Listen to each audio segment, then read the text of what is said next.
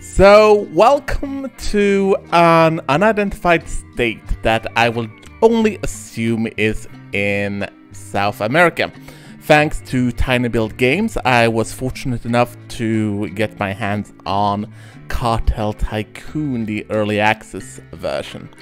And as you know, I've been playing a lot of Ghost Recon Wildlands, and I felt that hey, it's kind of annoying blowing up all these Coca labs and drug lords and stuff like that. So why not just become one? So we're gonna dive into the story here.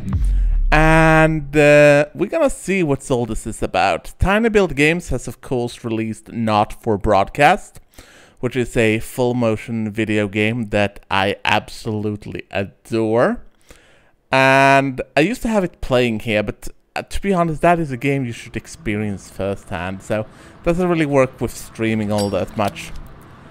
So obviously we got the Latino man looking for job listings. Man, if if those job listings are any, anywhere like mine, uh, he's not gonna get anyone who actually calls him back. But maybe it works differently. Maybe this guy actually gets someone who actually calls him back, but it doesn't look like it. He's tried a couple of them so far, and... Oh, looks like we reached someone. So, we reached a stranger who lo was looking for a partner, and he asks if it's love or business. So, let's just go with business, because I don't really want to work in the love department, if you get my drift. Um, I will lend you one of my residence and the cash in its walls. It's simply horticulture, growing and selling flowers. Yeah, I can't do a Spanish accent to save my life. Uh, and I would probably just insult anyone if I tried, so we're not gonna do that. Uh, rather, we are gonna start with the flowers. And the flowers being I can't actually remember what plant goes into opium. Of course I remember the name in Swedish, but I can't remember the name in um, English. All I know is that it's this. I think it's the same plant that you make. Uh, there's a Swedish delicacy we eat at Yule time at Christmas, uh, a lussebulle and it has... I can't even remember the, the other name either, so fuck this. Let's let's skip the baking, and, well, we're not gonna skip the baking, because I'm fairly certain we're gonna get involved with cocaine sooner or later, so we are going to establish three opium uh, plantations, and we are gonna establish a warehouse. And we're gonna build these close by, and I must admit this is not the first time I am playing through this uh, game. In fact, I have a few tries to poke in the sandbox mode and the other. And I realized it doesn't really matter if you try to hide anything or not. Because it's gonna, if it gets detected, it gets detected. So, we have started growing the flowers, and the flowers will be heading towards the warehouse here. So here is the airport, and here is where Bush pilots will be flying out the ill-gotten gains. So we are gonna move our capo, Cesar Garcetti, and to the warehouse where he can start delivering uh, the merchandise to the airport, obviously. So we're gonna use the deliver command and we are gonna use him to move it manually.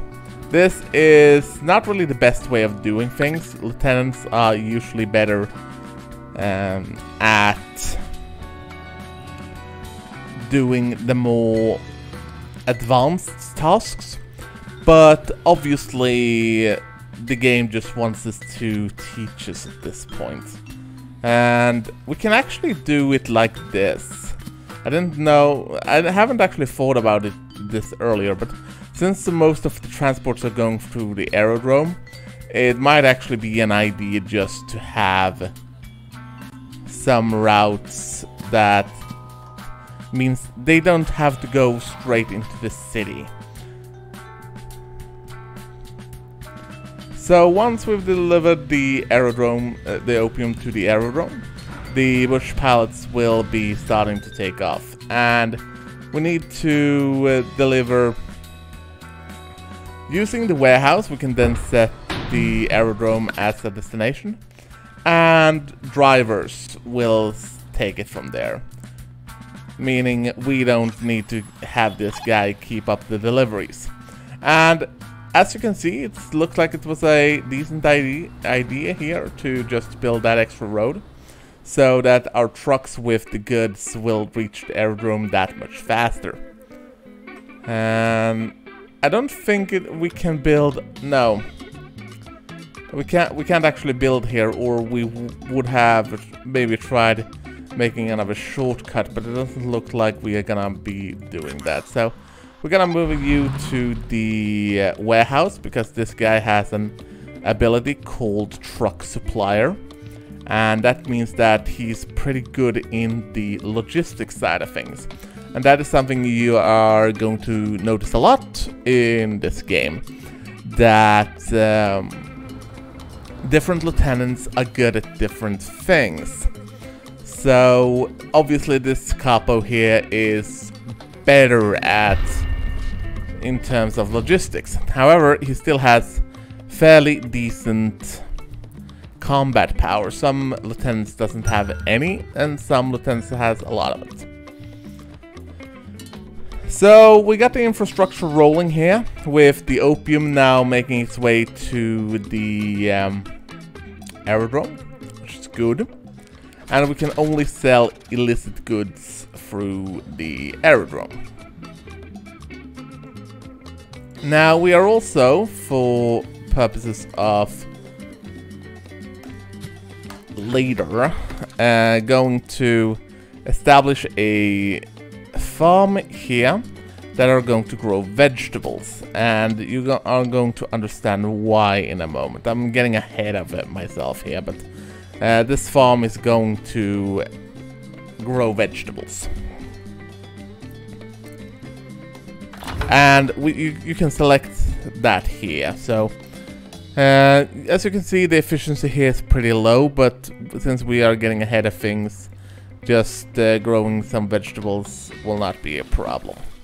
I get the feeling they might actually grow uh, some opium before they do that but hey. So we need to sell 25 units of opium through the aerodrome. And we're about halfway there, so we might as well speed things up a bit.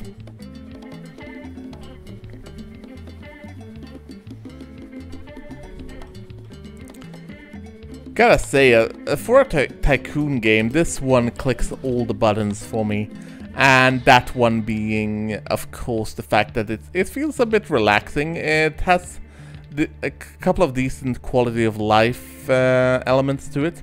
And uh, I must admit, later parts can get a bit frustrating. I'm not gonna get ahead of myself and say what parts.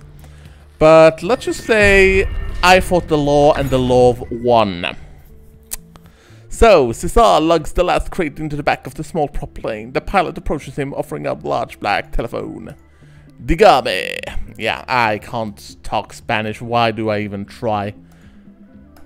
So, uh, apparently this guy knows everything about us and we need to scrub our hands clean. So apparently we got some legal money now.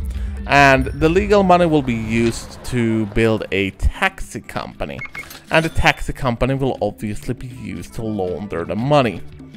So we are gonna move you to the aerodrome where you are going to be able to grab some of that very, very dirty money and turn it into squeaky, squeaky clean money. You know, because that's what we do. So deliver and we'll pick up the cash and we'll deliver it to the taxi station. And the taxi station, of course, will essentially just launder the money for us. I get the impression they will not push it in a laundromat Rather, they will just pretend that that it is income from taxi sales. As you can see, there's a maximum storage of money that can be laundered at a time, and since it needs to be added into the books, um, it will also take some time to do so. Makes sense. And of course there are different buildings you can create, but most of them do of course require legal money to do so. You can build a casino for um, dirty money as well, but using dirty money is sometimes more expensive. And I mean, when it comes to a casino, I mean, why would you even need dirty money? I mean, it's sometimes used to launder money, at least here in Sweden. Um, essentially people are using their gains from robberies and then they just basically turn them into tokens and then turn the tokens out again or something like that. Or sometimes they just gamble with them and then keep the gambling receipts. So we're still in the taxi garage where people are laundering the money. And obviously here they tell us that we need to start using our lieutenants and making sure that our drivers can also do things for us. So we can have the residents here where we can uh, make sure that money from dirty money will be taken from the residents and laundered.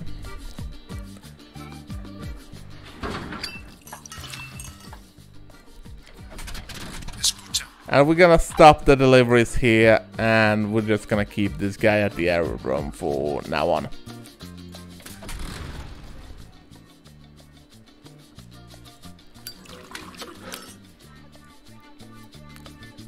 One thing, yeah, uh, basically when it comes to cash and stuff like that, uh, it's pretty much based around your storage here. So different locations can store different amounts of cash. And you can actually lose these lo locations as well. You're gonna see an example of that a little bit later.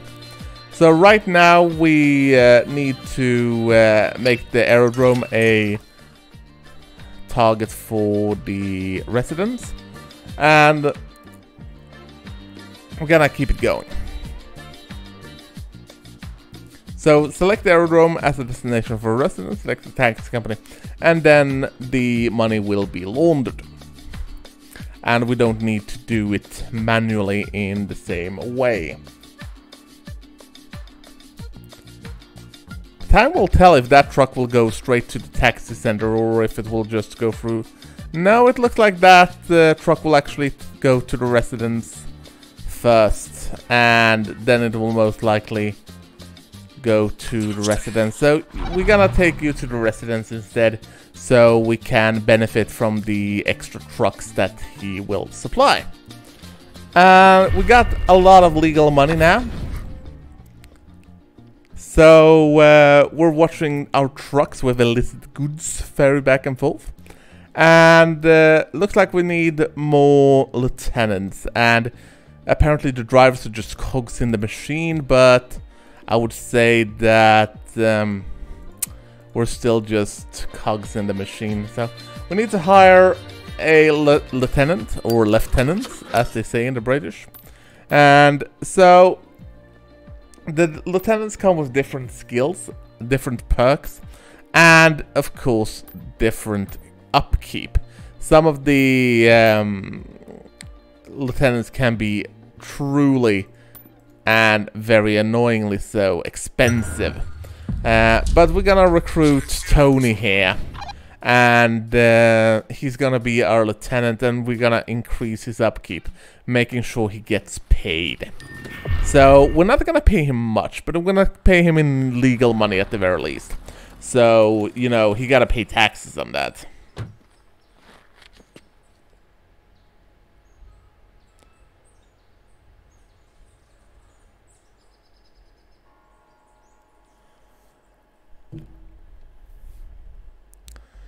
So, it looks like our benefactor has arrived. And he is Miguel Angel Gaja. And let's see what happens.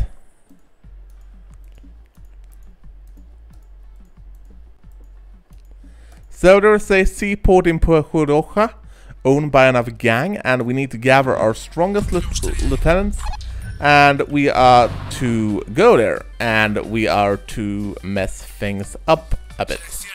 So, yes, I want you to proceed and you too.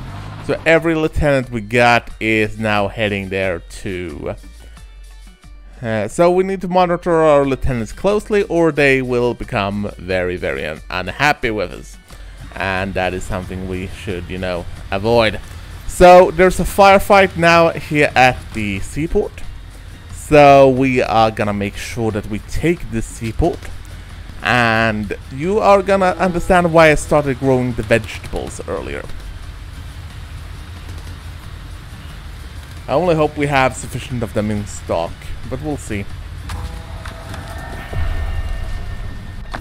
Okay, so the seaport, uh, uh seaport has now been given the new internal color of red. And we need to uh, make sure that fucking gringos uh, check any cargo that goes by road to sea. So we must smuggle them in local produce. And it looks like our new lieutenant isn't really happy with who we're working with. So this is gonna be interesting indeed. Uh, so you are going to be moved to the... No, wait, you are going to be moved there, and actually I want... I can't actually cancel the move order, but I would like him to move to uh, the... Um, thing is, when it comes to locations you use for smuggling, you need to keep a lieutenant there in order to hold the location.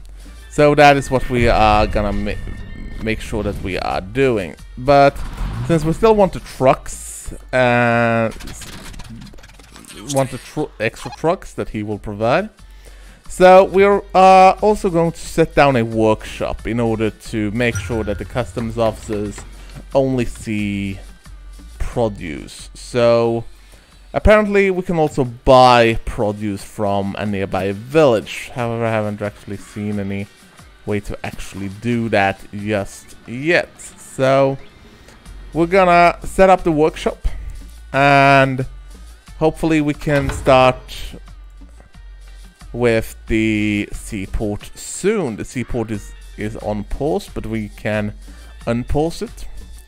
Uh, since we have a lieutenant there. And uh, we're gonna be using vegetables and opium. And obviously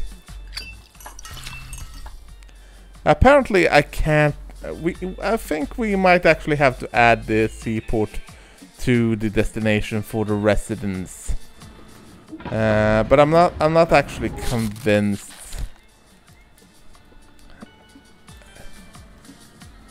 Apparently the workshop needed to have the seaport as its destination. But it doesn't look like they have been given... Well, there goes the opium at least. Uh, no, that was actually the vegetables. So we'll see. Yeah, now the workshop has started. So we're going to skip the seaport in terms of the residence things. So we need to sell 120 units of opium through the seaport. So that is why we established this farm that are currently growing us a lot of vegetables and we have a fair number of vegetables, and we have a fair number of opium. So everything seems to be going fine at the moment. We'll see when that changes, shall we? And of course we are still using our truck here to launder money through the uh, taxi office right there. So apparently the opium is... We're actually we could actually do with expanding a bit in the terms of opium. So we can build at least two more farms. Make sure that people in the region stay healthy and employed with meaningful work. And I, I don't know why I like to play connected dots with these roads so much, but it's just satisfying, you know?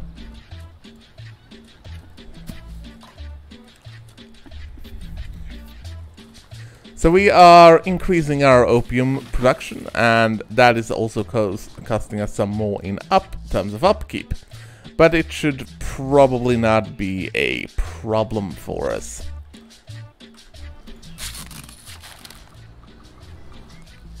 So the workshop is still going strong here, packing a lot of more opium, but selling that opium is going to take a while. So we can only wait and see what's going to happen in the meantime. I mean, the, the terms, the thing with tycoon games for me is that they're usually very relaxing. I mean, sometimes they're not, but mm, often you can actually deal with it in ways that doesn't really ruin your groove. And it's very, very satisfying when you get the logistics to just work out. That is actually one of my favorite things with games like this, just establishing a logistics chain and going with it.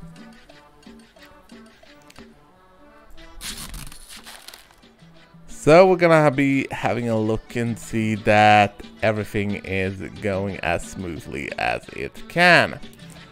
And that'll be it for now. I hope you like this uh, look on Cartel Tycoon.